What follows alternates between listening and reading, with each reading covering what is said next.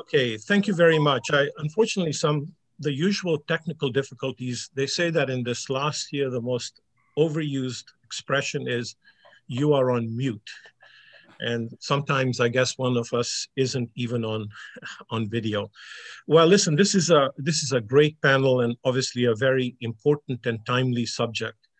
I think you already noted Bashir very accurately, and this is the task of BizTek, uh, which has been formed at a very opportune time in history, that we're really basically in a recovery mode to get back to a, a to, to, a new normal. And one doesn't expect that new normal uh, to be exactly like the old normal. We hope that while we solve some of the old problems, we will tackle some new ones and make a better world. And in the context of business, international commerce, and transactions, for Canadian companies and companies and individuals the world over, what is more important than governance and the rule of law? And I think the way that this panel would like to discuss that issue is really look at two things. The rule of law doesn't really mean anything unless the rights of individuals and institutions and corporations are appropriately um, honored and enforced. And, uh, and then, of course, uh, the front end of that is that good governance, and some of this we will discuss in a panel in the afternoon, um, is there in, in a robust fashion. This is a wonderful panel, and we are honored to have Lady Justice Joyce Aluoch, who is from, uh, based in Nairobi right now. I think you have all seen her, um, her biography in the materials. She has had a distinguished career as a jurist, first in the High Court of, um, of in Kenya, then uh, then the Court of Appeals, which is the highest court, uh, or used to be the highest court at the time before the new constitution in Kenya, and then she went on for nine years to the International Criminal Court, uh, where she eventually joined the uh, the presidency of that uh, of that international organization, uh, that court, and um, she was reminding us yesterday that it was 12 years ago yesterday uh, that she actually was uh, elected or appointed to the court. Uh, Stuart Kerr is uh, based in the Washington area like myself. Uh, Stuart has had a distinguished career now, uh, and we have known each other for going on 35 to 40 years. I haven't exactly counted. but Stuart spent a lifetime in the international development arena, focusing not least on um, uh, African countries and emerging democracies. And his work really has been to affect the rule of law around the world, in particular, strengthening those institutions that um, are relevant to robust, fair, balanced international transactions. So um, you know, we could spend a lot of time on just people's biographies, but I think uh, we will just get started on the uh, substance of this. And, uh, um, uh, you know, it's an honor to be here uh, with this distinguished panel. I think, as I said a second ago, there can be no argument that good governance of government institutions, great ethics, and the implementation of the rule of law are essential to everything that makes for effective government effective companies, institutions, and indeed our very way of life. Uh, without getting into politics, I guess one could say that uh, we have seen the failure of that, whether on this side of North America or on other sides, uh, the, the, failure of that uh, has significant consequences. Um, so the object of this uh, exercise here today for our tribunal, our little over an hour, is that we need to figure out ways to implement the rule of law more efficiently. Right now, we feel that both in North America and in other parts of the world, the rule of law is under siege. I think at the macro level, one could argue that the very, um, the very fabric of democracy has been at risk. Um, and as we see elections in other countries, and we don't need to name them, uh, the same has been uh, true. But I think we can be uh, somewhat uh, optimistic that everything isn't a negative. Uh, we, we have to you know, figure out ways to improve things, but there is hope for optimism, uh, not least the events of yesterday with a, a new government in the US, which is very committed to the rule of law.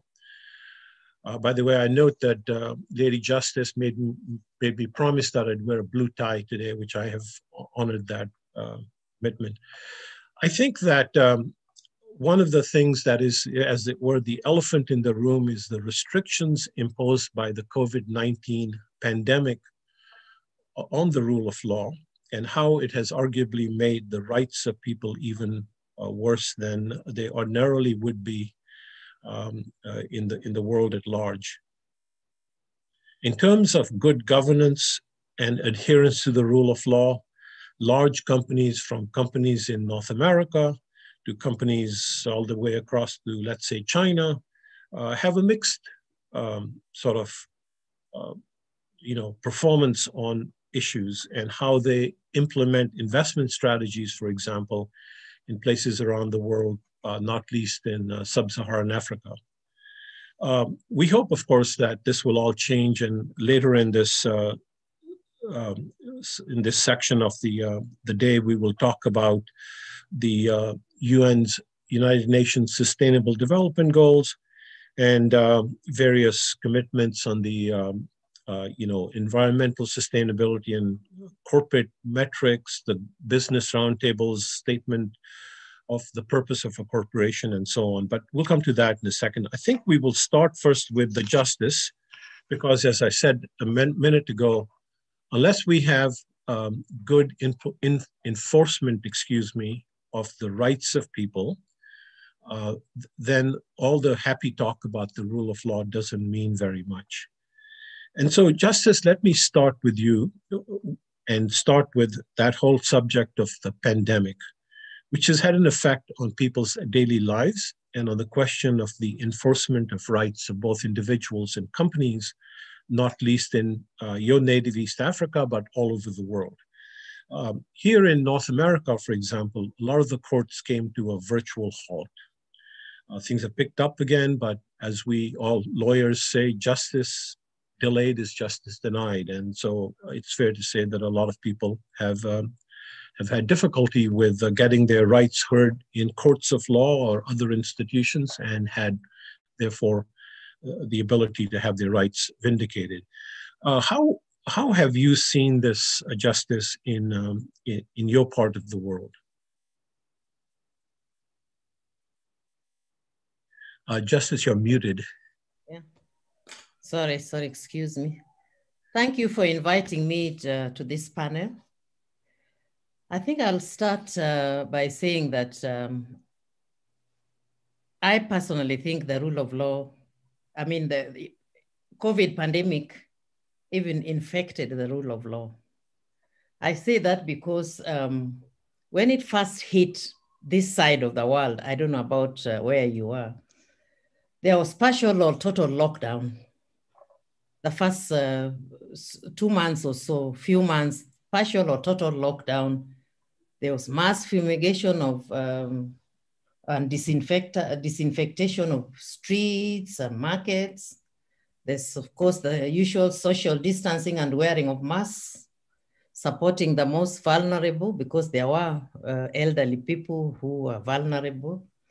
Restrictions on social and public gatherings, closure of offices and other facilities except for essential services like hostels, uh, promotion of vigorous um, hand washing. And I personally think that's a good thing because um, maybe we had all forgotten our hygiene that we should be washing hands. And uh, declaration of a state of emergency and curfews. And all these, um, all these things affected people's rights to, because the courts were closed uh, at the beginning, initially the courts were really closed. So people couldn't get access to justice. And yet um, the lockdown, for some strange reason, also resulted in a lot of domestic violence and economic crisis. And so, uh, you know, just nothing was moving for, for a while. There was no way in which people you couldn't victims could not go to courts to seek their rights because at the beginning, at the initial stages, the courts were closed to, so that um, there were protocols. Ministry of Health had protocols, at, uh, and and uh, those had to be observed. So that was the state of emergency that came with COVID-19 pandemic. Uh, Justice, when if you had, uh, as one often does, an emergency situation where you have to go in for a temporary restraining order, indeed, whether it's domestic violence or some big commercial issue, um, could you go somewhere to try to get emergency relief, whether uh, from a court or otherwise? Uh, yes, at a very limited level.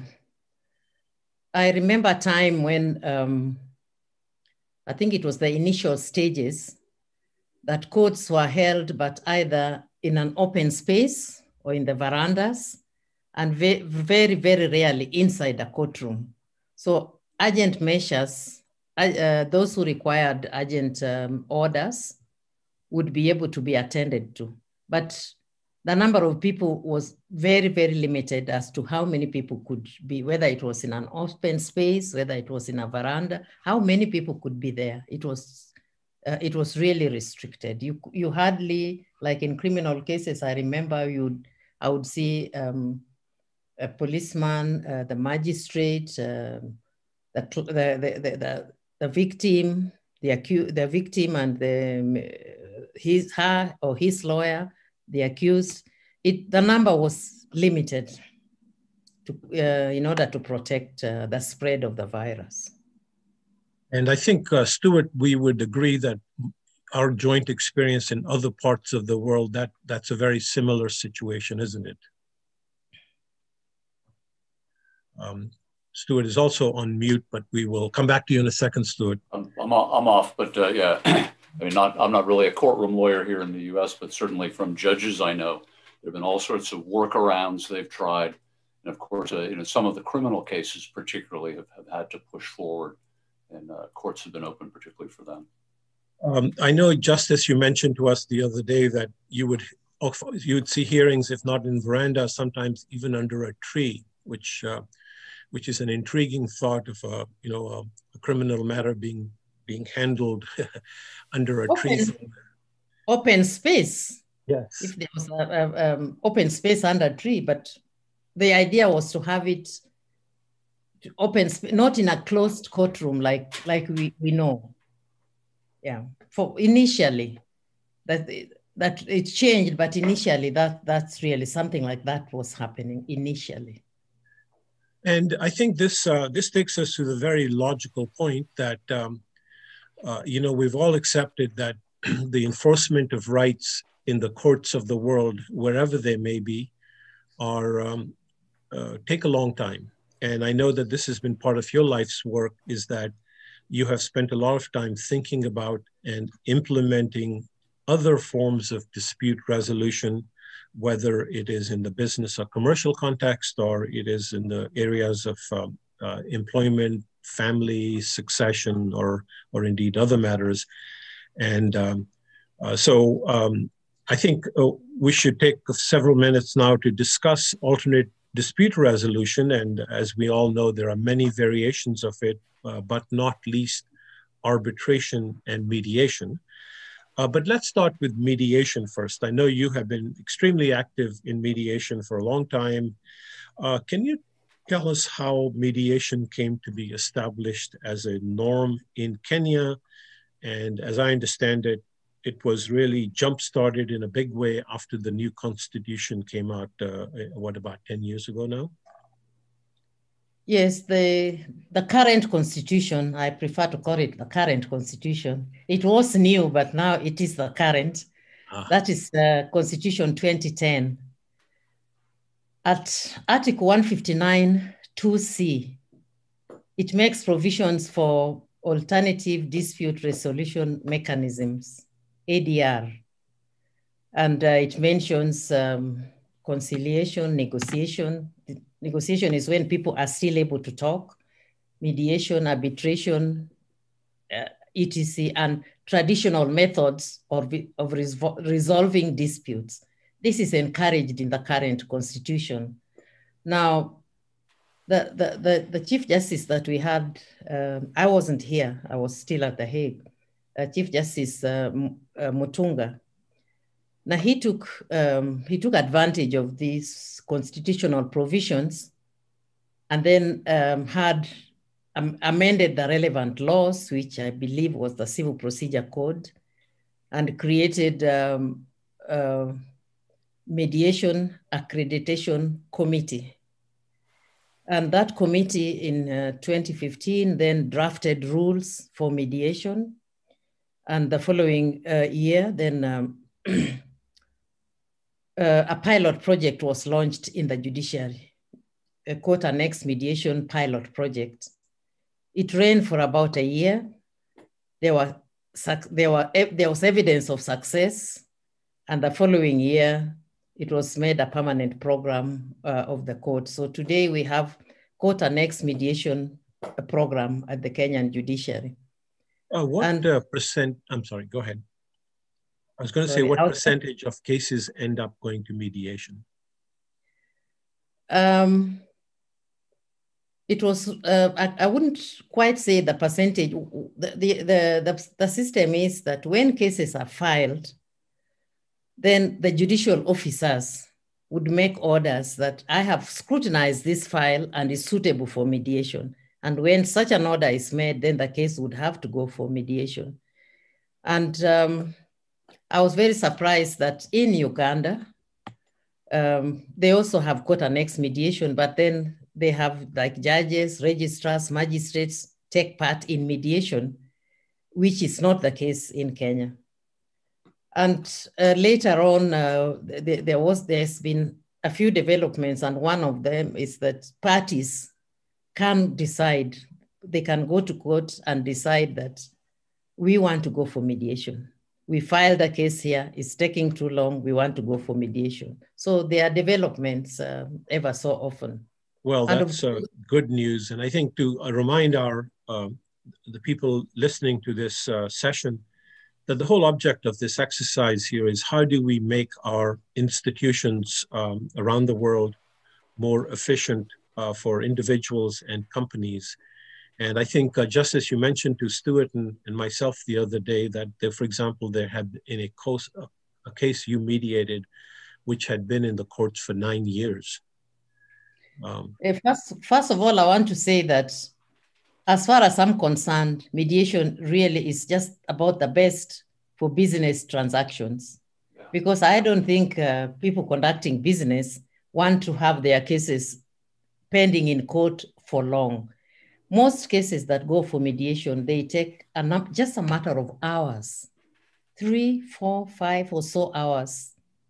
And uh, parties, because the mediator assists the parties um, assists their discussion. And a neutral third party, a mediator is a neutral, but I always add a neutral trained third party who assists the, the disputing parties to talk.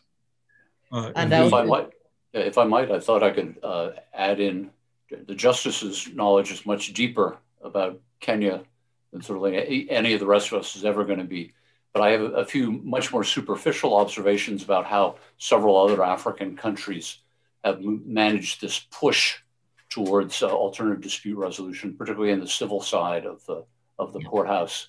Uh, Ghana, an, an, interesting approach that they have had, by the, you know, not dissimilar to Kenya. A couple times a year, um, the clerks in the court go through all the pending commercial cases and specifically ask the litigants if, if now, I mean, I'm, I'm not using the language of the law, but uh, have you suffered enough in the courts and perhaps you'd like to now reconsider the possibility of moving to either mediation or arbitration? And I think they've been in, in Ghana rather happy at the number of cases that shift. And it's, it's not just a benefit, of course, to, uh, to the litigants, it's a benefit to the court itself. It means that their docket is reduced, it means that other cases can move faster um, ergo, costs can be reduced and justice delivered faster. Um, as Javade was saying before, uh, justice mm-hmm. delayed is justice denied. And this is one of the great aspects of, of, mediation adjacent to the courts. In the case of Lesotho, uh, where I worked extensively several years ago, um, this is specific to the commercial courts. And as the justice mentioned, uh, mediation has a particular aptitude as it fits in commercial uh, cases. in Lesotho, they decided uh, to make the mediation uh, mandatory, which of course doesn't mean that it must be resolved through mediation, merely that the, uh, that the two sides in the case must at least have an initial meeting with a mediator, which in the case of Lesotho is, is often the, the, one of the registrars of the court. But that's an also interesting approach. Uh, so there, there are lots of slightly differing approaches, but they're all basically trying to get cases out of the courts. And interesting, in the last uh, oh, five to eight years, even uh, the, the, common law uh, jurisdictions in Africa were really first at this. But in the last five or so years, many of the civil code countries, I mean, I'm thinking Benin, where I worked a lot, they've set up, again, uh, commercial court, they've set up a, a push to mediation. And frankly, they're very, they tend to be, this, this shows my common law prejudices, so I will apologize for that in advance. Uh, but the, the courts are very, much more traditional, I'd say, in many of the uh, Francophone countries. And as many of you probably know, um, in the Francophone countries in Africa, the, the High Court does not uh, is not able to set its own rules. The rules are set by the legislature. Um, so it, it, it, requires changes of law at the highest level to do something like uh, approving mediation. Yeah, and I, I would um, I would note, of course, that uh, you know to uh, to bring this discussion back to Canada uh, and to other uh, parts of the world, we have you know mediation protocols uh, in virtually every place and as we will come to after we finish talking about mediation specifically there are other forms of um, adr uh, which are you know depending on the situation and the type of dispute um, you know successful to a degree but to come back to mediation specifically so people understand justice how this has worked uh, I know that you have been currently working as a mediator, uh, and they must be very lucky to get you when they do get you as a mediator. How does this all work? How does a mediation come to you? How are you able to manage a mediation uh, with, you know, obviously the the health protocols and so forth? Maybe you can walk us through how that works. Yeah, before COVID nineteen uh, pandemic struck, the world, mediation here in Kenya and indeed in East Africa, and I believe in many countries, was face to face. I would sit in a boardroom and the parties would come with their lawyers. I would then have an open, uh, well, introductions, then um, um, open sessions, an open session, and then eventually it was necessary to go into private sessions. But all this, um, you know, all this face-to-face uh, stopped and mediation, like court litigation, went virtual. What, that's what we are um, uh, practicing now in Kenya, virtual mediation. Um, you, you know, you, what platform? I have always uh, mostly used um, Zoom because uh, in, in mediation, Zoom has breakout and you can to, to put people into parties into different rooms with their lawyers. As we just as we used to do when it was face to face we would have a, a room where I would put a party. You stay you take some time with party a and the lawyer.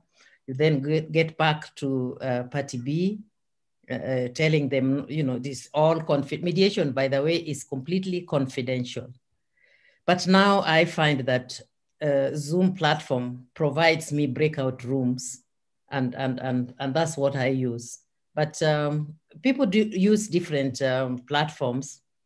But my concern really at the moment is how many people have stable have the, this facility, have um, iPad, um, uh, uh, internet, smartphones, what percentage of people, not just in Kenya, I think uh, in many, many countries, and this might, um, this might hinder people from coming to uh, court or from coming to the, to, to the mediators because the mediator will say, sorry, we have to, this is virtual. Though today I had a fellow mediator who told me that the parties are just uh, plaintiff, defendant, lawyer, lawyer, and he said he was going to do it uh, face to face.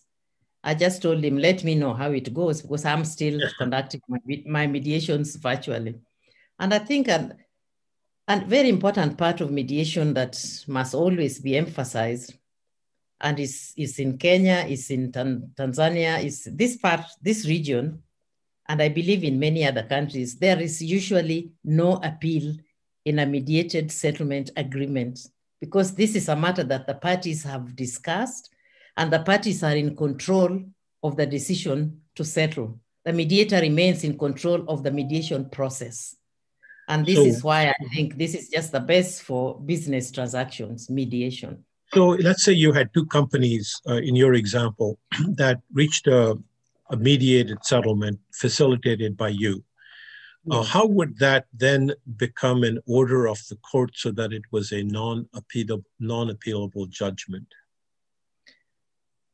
Uh, if you have been accredited in this country, for example, as a court annex mediator, the minute uh, um, there's a settlement agreement arrived at, this settlement agreement will, can be taken to court to be made the final order of, of, of, of that dispute. But um, despite that, there are many other, even private mediations, that you hardly ever hear that they approached the court and they wanted an appeal. Because parties, um, disputing parties, they have taken so much time with the assistance of the mediator to go through the whole dispute, go through the facts, go through, the, and, and once, once they've done that, a lot of people who are in business have managed to go back and resume their business relationships. Which is, of course, the best part of it. So, um, let me ask you a question, and, and, and Stuart, you may have a view in other countries. Of what's the success rate of mediations uh, that you have done justice? Uh, you, you mean personally? Uh, or just from statistics you may have oh. from uh, from the statistics uh, today, I was talking to the registrar who is in charge of um, mediation registry, and uh, she was telling me the success rate is about uh, um, about 60% of the cases that go for mediation get resolved. That's excellent. Yes. Which I'll add, add a couple other country examples. in Lesotho, that I mentioned earlier, the uh, court annex mediation to the commercial court. This is a few years back. I'm not up to date on it, but after it was set up, they were they were doing better than 50%, but not quite 60%. One of the best examples I know in Africa is in Senegal. Um, several years ago, um, with support from the French government, the uh, judicial system in Senegal set up five or six what they call maisons de justice, justice houses. There were local mediation centers in neighborhoods, and they were to handle, you know, uh, family disputes, uh, local land disputes, you know, in the town, and even very minor uh, criminal matters they were allowed to handle.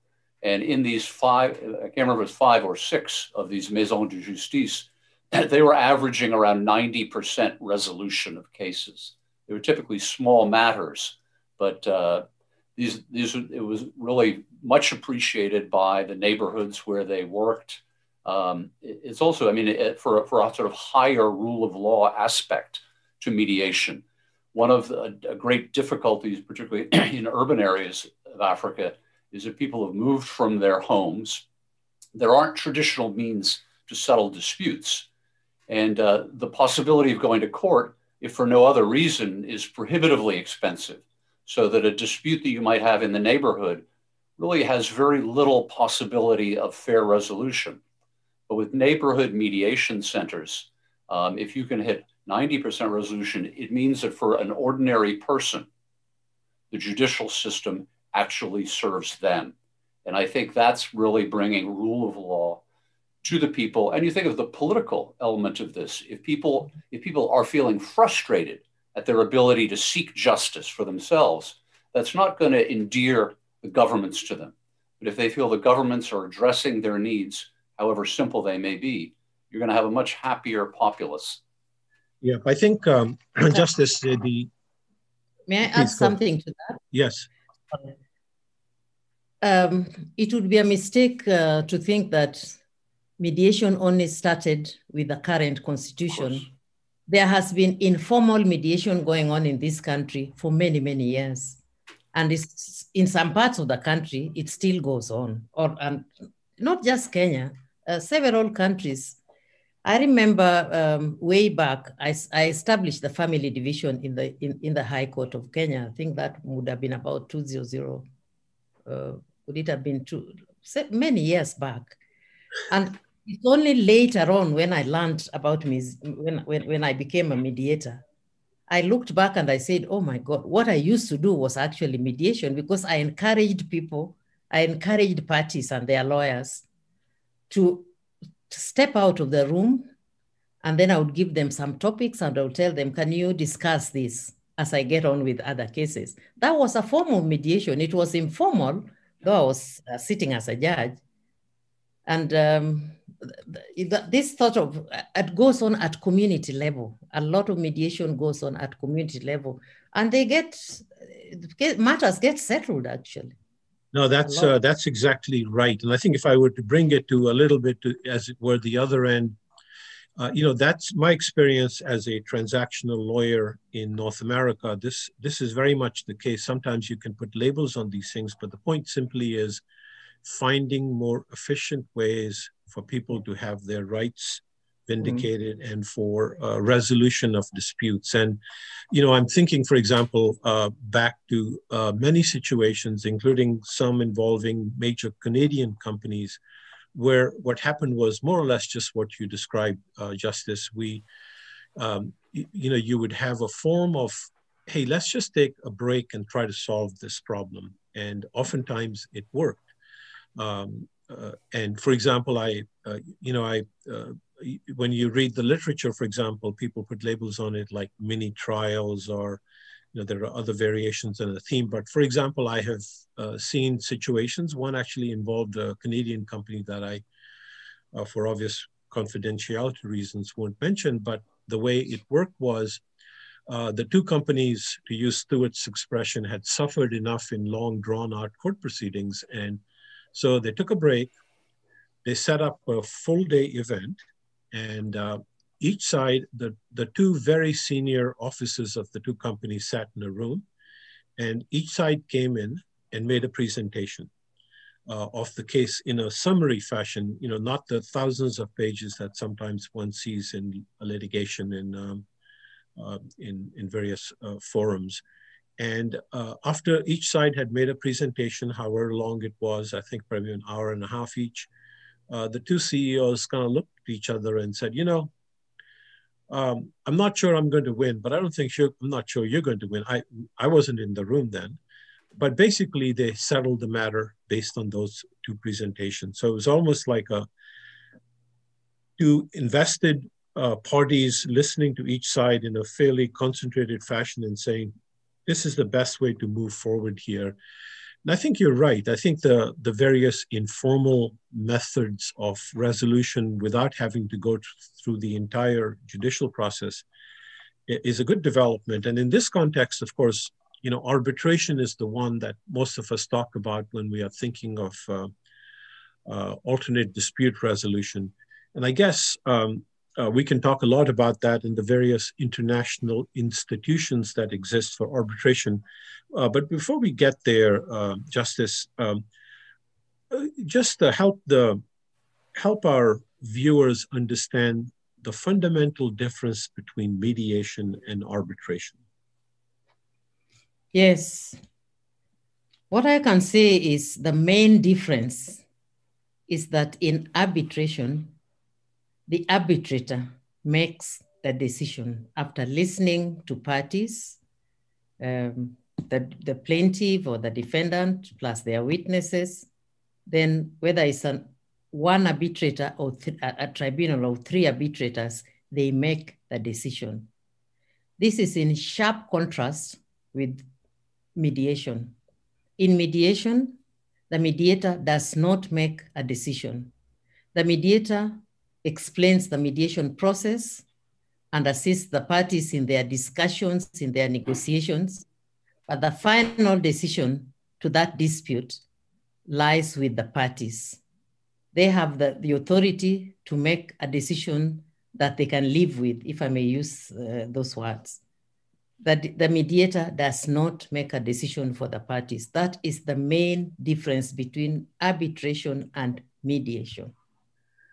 Right, and as as we all know, um, and uh, I think most of our viewing audience will know, uh, arbitration is really a, a process uh, which, by contract or sometimes because of an underlying treaty, people have agreed that those certain disputes will be submitted to arbitration, and there are laws and treaties which which then uh, create a framework around it. So you're exactly right when your disputes get handed over to a tribunal and that tribunal makes a decision, then the winning party can go and enforce that decision as a judgment of the court. There are some limited exceptions to challenging that, uh, that decision, such as hypothetically, if the arbitrators decided on something that was not within the scope of their jurisdiction or because there's a suggestion of improper behavior or something, or a conflict of interest, or uh, a decision made uh, against public policy. Uh, for example, in the Middle East, you see situations where if an arbitrator presumes to award interest or enforce a contract which is uh, contrary to existing law, that, that wouldn't be enforced. But by and large, normal commercial transactions the world over can be enforced once they go through the arbitration process.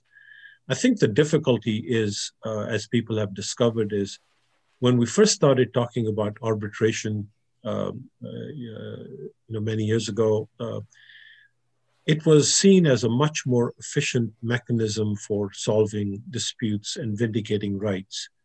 Um, uh, unfortunately, unlike your mediations, which you said you solve in four hours, which is remarkable, arbitrations can go on for years. So they're not perhaps in many cases much better than um, than um, um, you know litigation. But uh, so Stuart, in your experience, people agree to arbitration because what's the one-line answer to that? because they hope to avoid going to court and they hope to maintain confidentiality of the issues at play. Yep, and of course, if you're in another country, there is a concern, rightly or wrongly that you're not going to get uh, a fair shake because there's going to be sort of a home a home advantage.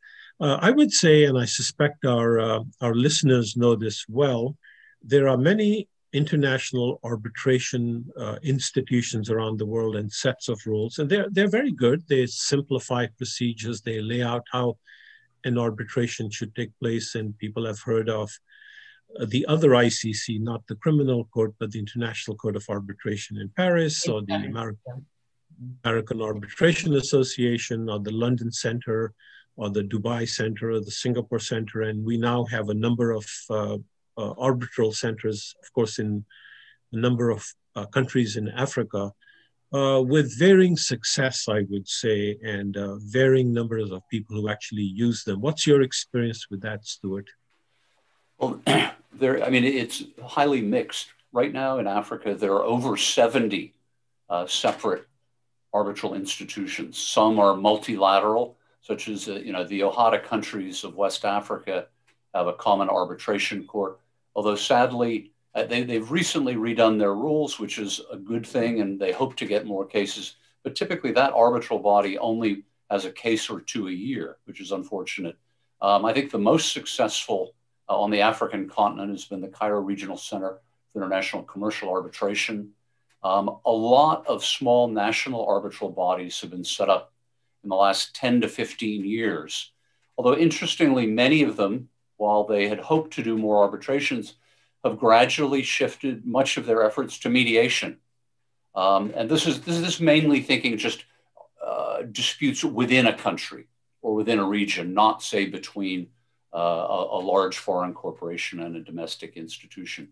But I have to say, generally speaking, um, despite a great deal of effort by countries, by local chambers of commerce, uh, and by even local businesses, there has not been, generally speaking, a great uptake yet of arbitration on the local level uh, compared to, say, in the US, where the American Arbitration Association, I'm sure, uh, through various means, supervises thousands of arbitrations from tiny to very large in a given year.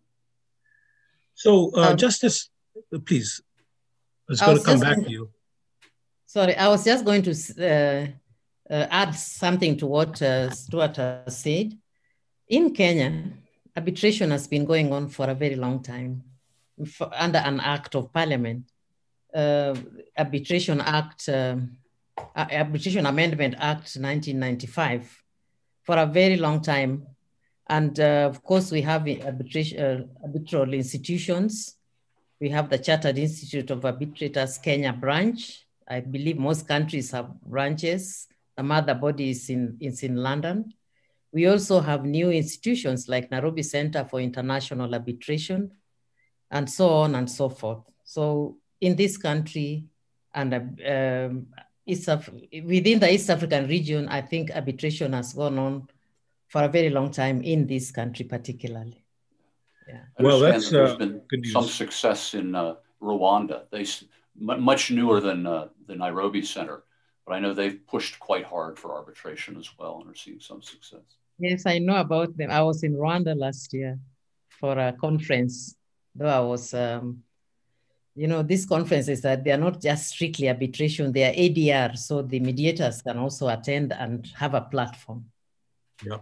So I think whatever the, you know, relative limitations of arbitration too, um, it is still generally considered um, a more satisfactory form of dispute resolution uh, by you know international companies or or domestic companies, whether they be in Canada or someplace in Europe or in you know in Africa, and um, uh, you, you, know I think uh, notwithstanding my reference to the four-year arbitration, and I've had some which have gone longer. Um, the um, it's still a lot better than the courts. And so, Justice, before you went to the International uh, Criminal Court, uh, you obviously had so many years at the High Court in, in, in Kenya, and then, of course, later in the Court of Appeals. Uh, tell us about that. How, how was your experience in terms of uh, you know, efficiency, effectiveness, comp- comparing it to your uh, current mediation role? Um, I was in the High Court for a long time, really. And uh, what can I say about the, the Kenyan High Court? At the time, we were much fewer judges than there are today, and we worked hard. I believe that judges today are also working hard. But something, for example, like timelines for delivering judgments, we had 42 days within which to deliver judgments we tried to uh, to meet that, but uh, the workload was a lot because every morning you had um, a course list. You'd start off with applications and then get on to hearings. But the, the good thing is that the previous day you would the files would be brought to you by about 3 3:30 p.m. So one had opportunity to read the files. I want to believe that um, uh, that that arrangement is still going on because if you don't read the file, then um, you'd have there would be too many adjournments. And one thing I must say is that, with a lot of respect to lawyers, I suppose even, even I'm also a lawyer, but there there there are too many applications for adjournment. There used to be even then. But today, I think they are even much more than not just in Kenya, in, in around our region. But I think the, what I want to say is that it is the judicial officer involved, whether judge or magistrate, that controls the court proceedings. If you start by granting adjournments, you really cannot blame the parties. But if the parties know that this in this particular court, it is not easy to get adjournments, then the parties the lawyers will come to you prepared. And I think that's one of the things I did when I was in the High Court. I made it very clear that I wasn't going to entertain flimsy reasons for adjournment. And what I used to do, which of course wasn't the, the, the lawyers uh, just used to wonder. I always encourage lawyers that you must bring your clients to the courtroom. So when a lawyer made an application for adjournment, I would say just one minute. The parties, I would read their names and I would call out and I'd say, are, are you parties so and so? So are you in this courtroom? Then uh, more often than not, they would say yes. Then I would say, did you hear the application your lawyer is making? And half the time, some of the parties would say, the lawyer is in front there and I'm at the back. I didn't hear what he said. Then I would say, I'm repeating it to you. Your lawyer is making an application for adjournment. Are those your instructions? And of course, the parties will say, no, we haven't discussed anything like that. Then I would tell the lawyer, sorry, this matter must go on. You haven't briefed your client. You didn't even tell your client you are going to apply for an adjournment. So judicial officers, judges, magistrates must be very firm on, on, on requests for adjournment. It must be absolutely necessary matter because that's a way of delaying matters in court. Yes. I know that in some other countries in Africa where they where the, there haven't been strict judges such as you, um, in some chambers they have uh, in, put in place stricter rules to just to help the judges be more strict. I mean, the commercial, in many cases where commercial courts have been set up, the rules make it even harder uh, for continuances and for delays, just for that very reason. Uh, yeah, I think that's uh, that's right. Again, uh, I remember being in, um, in a, it's sort of really a, a, conference with a very distinguished uh, senior uh, judge here in the U.S. who who said, and in all his years, he had never had a lawyer come and ask him to accelerate things rather than you know, delay things. Which I thought was a remarkable statement for this uh, fairly you know experienced and older gentleman. So, Justice, let's go on to before we go to some governance issues. Um, it's not often that one has the privilege to uh, to talk to um, a long-standing member of the International Criminal Court, and I, I did a little research, and I uh, I noticed that uh, you were involved in that uh, famous and unfortunate case of the Gaza flotilla. Uh, but there are, of course, many other cases that uh, that uh, you were involved in over the nine years that you were at the International Criminal Court. I wonder if you would uh, wouldn't mind, uh, obviously within rules of confidentiality, to talk about some of the interesting cases that you dealt with there. I dealt well once a judgment is delivered or a ruling, or but more so a judgment once it's delivered, it's documented, so the confidentiality I suppose goes, isn't it? I I dealt with. Um, one of the cases that I dealt with from beginning to end was uh, of the trial. That is, I was not, I did not deal with it at the pre-trial stage. Uh, John Pierre Bemba, um, who was uh, who was charged of war crimes and crimes against humanity. The trial went on for a long time. It was a long case. I think we had nearly eight, eight zero, 80 witnesses and virtually all these witnesses were coming from um, Africa. And um, it went on for long. And unfortunately, by the time the trial started, the incident, it was like uh, four years or so since the incidents that were that that caused the accused person to be arrested had happened. So we had the unfortunate, um, it was very difficult because half the witnesses, some of the witnesses would say this thing happened such a long time ago. Let me try to remember. Let me try to picture. So I remember in my last three years in the court when I was a member of the presidency, and I know that this is still going on. We were trying, we were working very hard on ways of speeding up these trials, the trials at the International Criminal Court, and we we, we, we came up with the ways in which the trials could be speeded up so that witnesses can give evidence within a reasonable time and not four, four or five years after the incident. So I also dealt with the, um, the case of Al-Mahdi. He was charged of um, destroying some um, monuments in, um, in um, in Mali, Ah. some yeah some sentimental monuments. He eventually gave a plea. He pleaded guilty, and so on and so forth. The um, uh, was the makeup of the uh, the ICC. There were uh, judges from all over the world. Regions of the world, from almost all the regions of the world. Yes, we only eight. The ICC has only 18 judges, but during elections they try to get to to to elect. Uh, they try to give opportunities. Well, election is election like any other, but uh, they try as much as possible that judges are elected from different regions of the world. Yeah. How uh, how long is your uh, is a term? Is it nine years or is it less? One term of nine years. Okay, and then you can't repeat it, can you? No, that's why I said one term only. Okay, It's in the International Court of Justice that they can, they have, uh, I think they have, is it eight years or nine? But they can go for re-election, not at the International Criminal Court, no. sure.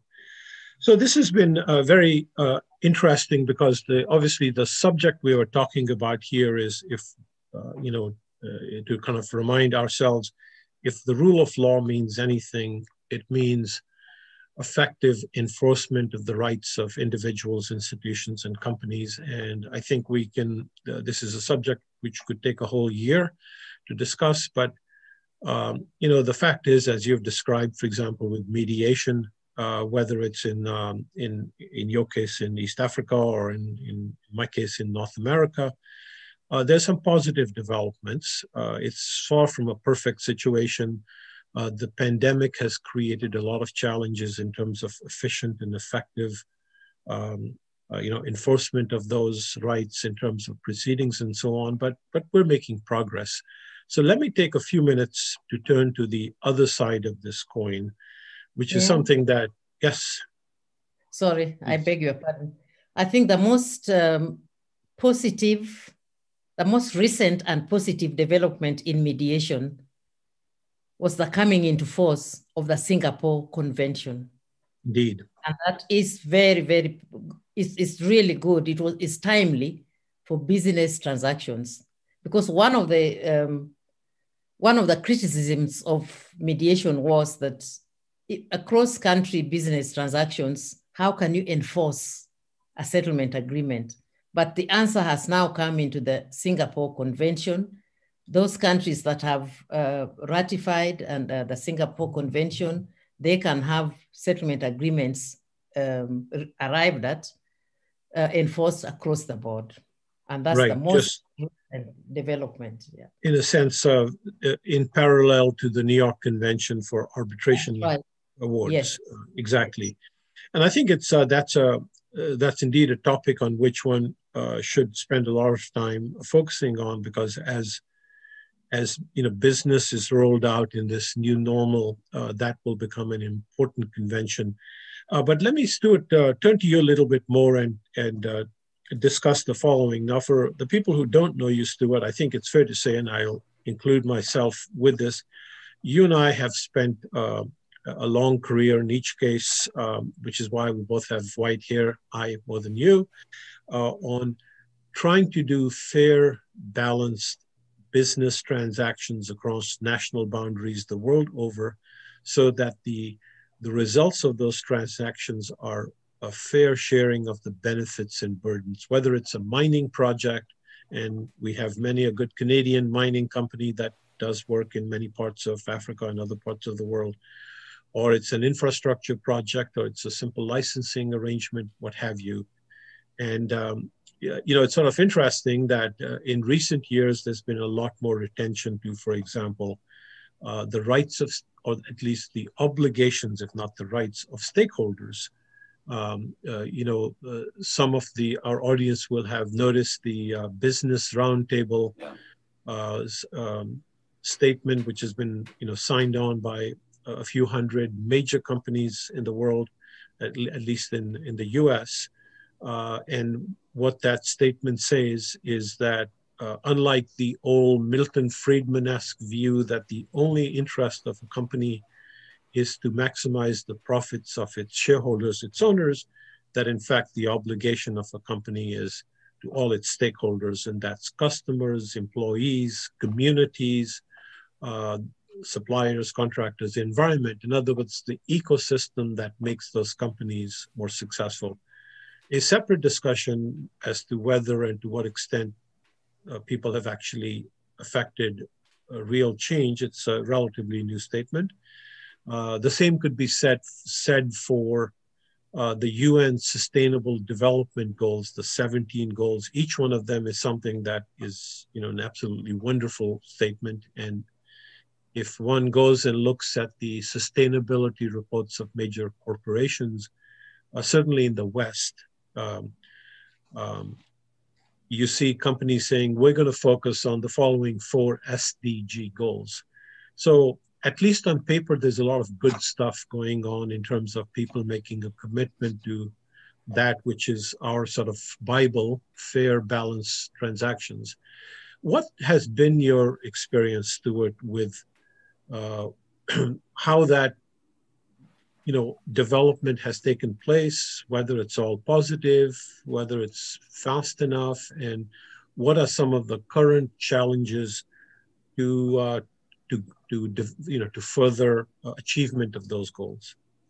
Sure so i'll stop uh, there and let you okay just a few comments and I, I, won't say too much but i think as Javade intimated there's there's a clear trend in recent years uh, towards the broader involvement of stakeholders of all sorts and a, a movement away from that pure Friedman-esque, you know, the, uh, the purpose of a company is just to increase shareholder value.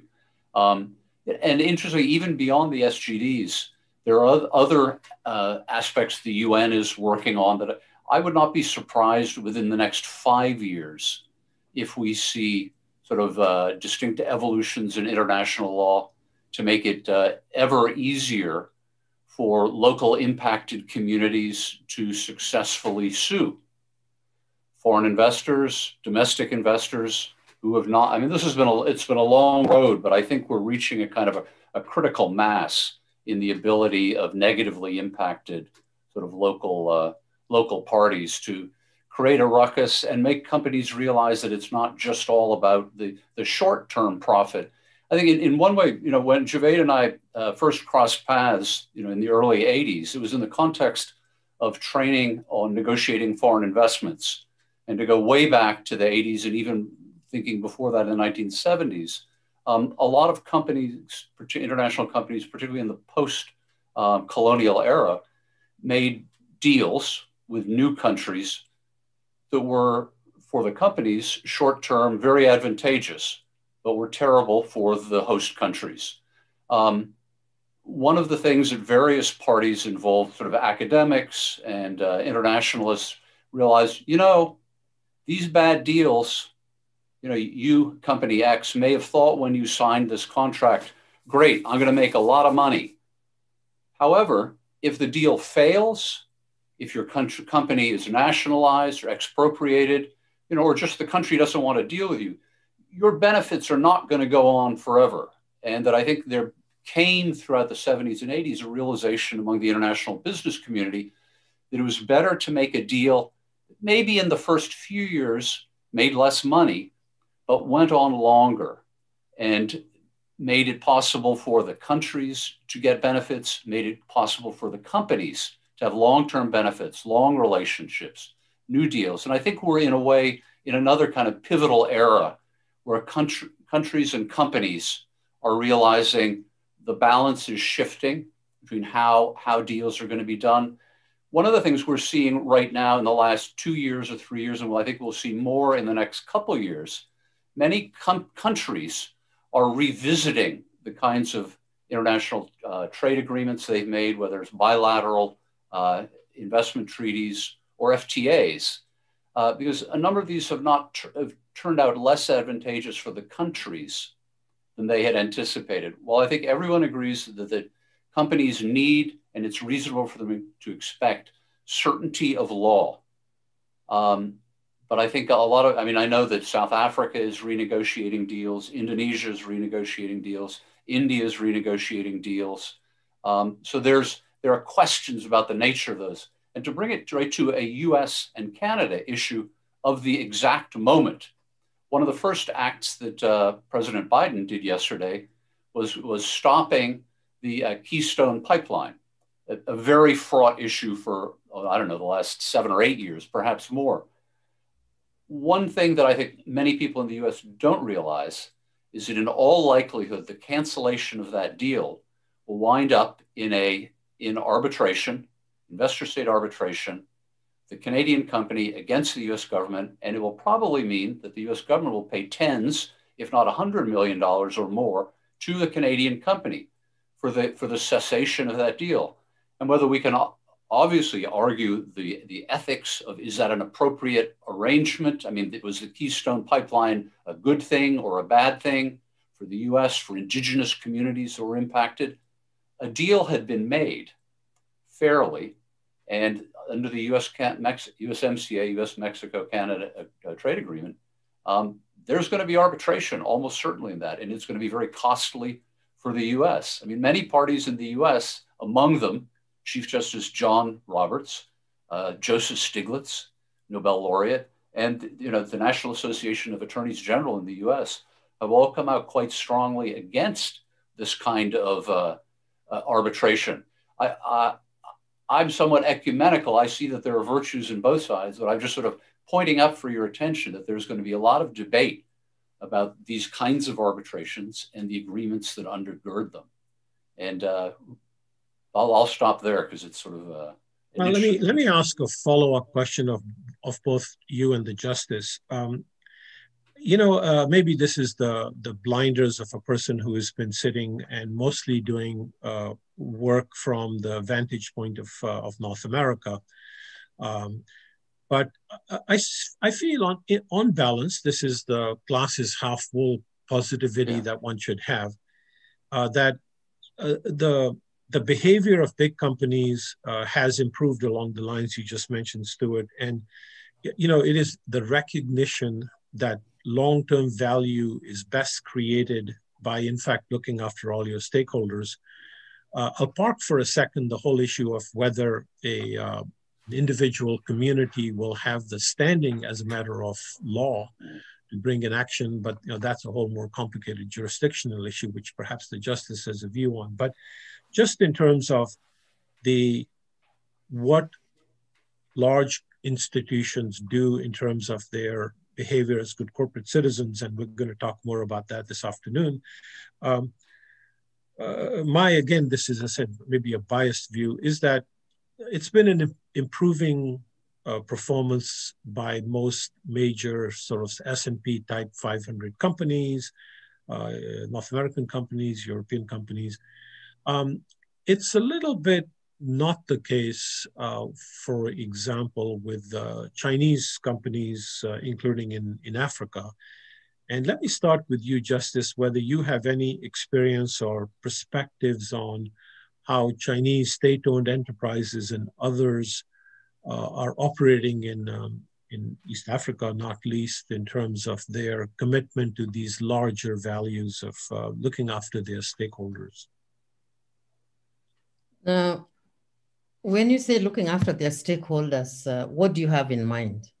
Well, um, I, Stuart and I would both tell you, we often finish each other's sentences, uh, that uh, a big US company, uh, and I'm thinking of projects I've done in the Middle East and in the ASEAN region and uh, the Caribbean, there's a commitment to train local people to um, not just have people working at the low levels, but eventually bring them up in the management uh, scheme of things, to um, uh, help develop community projects as part of their corporate social responsibility programs, that sort of thing.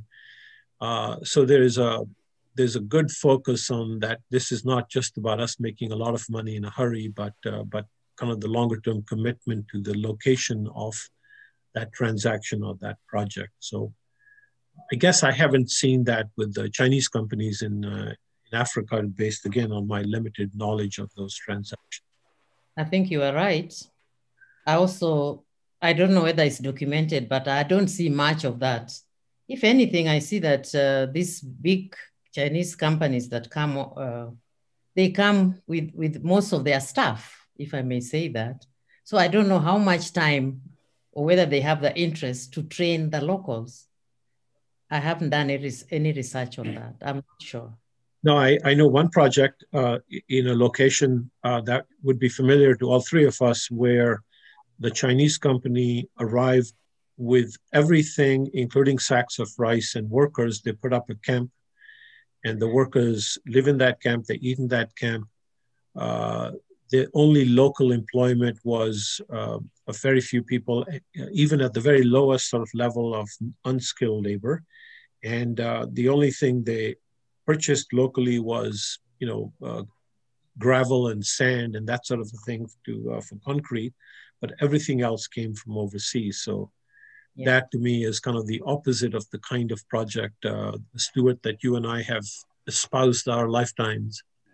One of the things I'm, I'm hopeful that uh, we could analogize the current situation of many of the Chinese companies working around Africa and elsewhere in the developing world to the sort of position that many uh, multinational companies uh, from Western countries were in, say, in the 70s, when they hadn't really quite internalized that the value of long-term relations, long-term benefits, and uh, I, I, think it's just a, without appearing to sound condescending, I think there's they're at an earlier stage of the learning curve of working mm-hmm. abroad and realizing that these long-term benefits, when all stakeholders uh, benefit, it will ultimately benefit the Chinese investor more uh, exactly, and I think that's really the the lesson. I think to take away is um, that good governance, uh, responsible governance of your relationships, your collaborations with other uh,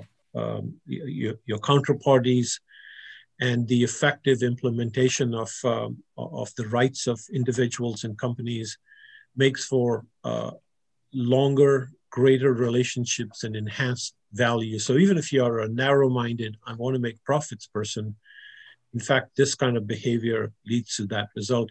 I see we are coming up on uh, when we are supposed to um, oh, hand off here.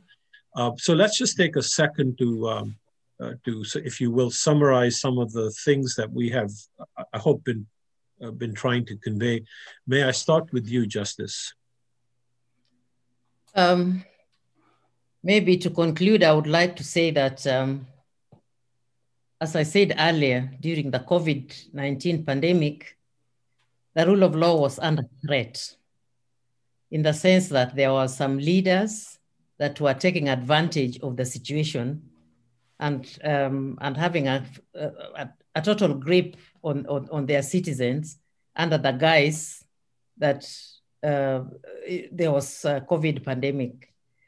And then, of course, as I said, the court systems for a while were uh, not working.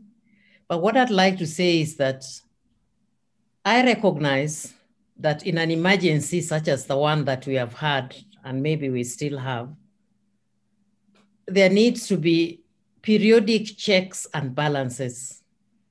If you say, if you're having, if you have curfews, if you have uh, whatever it is, it must not be indefinite. There need, it needs to be checked ever so often that uh, we, we pass some emergency measures. How, how, are, how are our people doing? Can we revise them? Can we go over them again? That I think uh, uh needs to be, you know, that, that needs to be observed as much as possible so that the rule of law um, is not put to, you know, is, is not supposed to be put to trial, but in, incidents like that can actually put the rule of law to trial. Because as I said earlier, COVID-19 pandemic infected everything, including the rule of law. Thank Absolutely. You. Thank you. Stuart, as they say on the news broadcast, 30 seconds. Okay. Yeah. I don't know if you even have that. I think we're in a very interesting period of flux um, I th- for both for rule of law and for transactions and for dispute settlement. I think the growing success of mediation around Africa um, is one of the best signs. And I think the fact that uh, a lot more money coming is coming into Africa, while fraught with its own challenges, uh, will ultimately be a very positive thing. And I think particularly once the Chinese come more into a consensus approach of uh, how, how. And uh, I will I will conclude here by just making this point that you know this is uh, this is sort of one of those never-ending journeys of trying to improve um, various institutions and all. And I think one thing that our very limited discussion points out is, um, you know, we need good leadership from the very highest institutions. Yeah. And I yeah, was delighted exactly. to see the new president uh, and some of the actions he's already taken. Uh, but it also needs uh, inspired leadership from organizations such as uh, as BizTek in terms of having sensible discussions about, you know, honestly what is wrong and what can be fixed. And uh, this is not something we're going to solve overnight. Uh, but I think as long as we have a positive attitude, we're willing to collaborate, understand we don't have all the answers, we can we can make progress on this journey for the betterment of not just the individual institutions, perhaps where we work, but for the greater good of uh, of all the peoples of the world. And with that, Bashir, we will close this uh, session. Very it's fascinating discussion. Uh, and thank you very much, Javade Stuart. Pleasure to to meet you, e-meet you, I guess is the term we use this day. And uh, Lady Justice, fabulous. Uh, I think there's a lot of the stuff there. And maybe we'll do some follow-up session to talk about uh, other areas that you started and touched on. So, Stuart, I'm pretty sure um, we'll talk to you and mark your calendars down to all three of you on that. So, thank you very much folks, as we go to a coffee break 1040 when we start again. So I want to thank at the bottom of my heart, uh, excellent uh, as a discussion. So uh, Ed, you're going to be obviously leading the uh, ethics and diversity uh, discussion later. So uh, we'll move on, folks. After the break, we'll move on with a fireside chat uh, between Bruce Croxon and Peter Schwartz of Cognitive um, and that's going to be very interesting because there's three sessions there. We start there, then Peter Schwartz, who is a passionate person about collaboration, has done it as a founder, will talk about collaboration, and then we go into the drive, uh, driving impact. That is a very interesting panel too, with Peter Schwartz as the moderator, Bruce, Bruce Croxon, Ernest Lang of from Merita Group, Christine Stewart, who is the uh, representative from the World Economic Forum, Davos, and uh, you probably know her. She was former former head CBC. And we have Mark Kelly of Kelly Associates. So I think you've got some dynamite people also coming up. So hopefully, Javade Stuart and, and Lady Justice uh, Aluoch has set up the stage. So thanks once again. Enjoy your coffee. We'll see you all back I'll, the session will be live. You don't have to log off you don't uh, as I'll put the slide there for everybody. So take care and talk to you soon. Thank you. All the best. Enjoy. I know it's late, late night for you.